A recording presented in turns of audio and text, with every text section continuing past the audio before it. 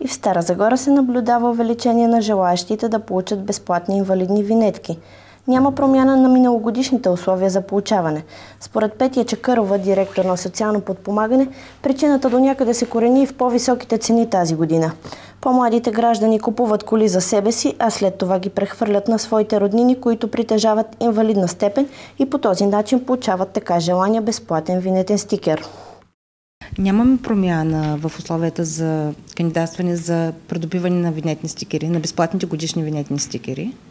Право на такива стикери имат, на винетки имат право да получат хората с увреждане с 50% и над 50%.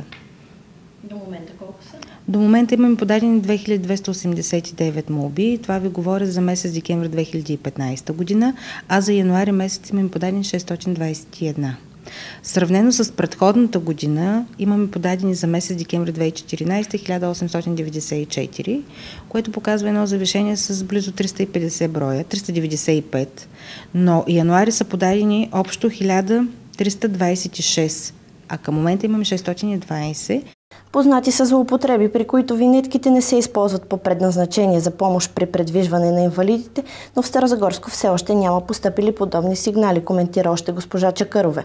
Документите се приемат на гише 7 и 8 в дирекцията, а екипът ни завари опашка от чакащи. Каква, какъв процент инвалидност имате? А, не разбрах. Какъв процент инвалидност имате?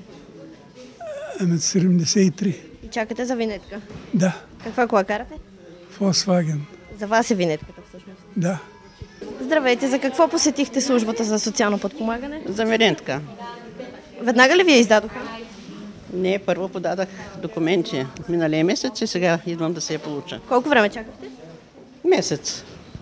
Баща ми е инвалид, трябваше да взема винетката. А, може да се подава и от друг упълномощено лице сте, така ли? Да. А, за вас ли е винетката или за него? Каза ви, че е за баща. Той ще кара колата. Да. Колко време чакахте за да я получите?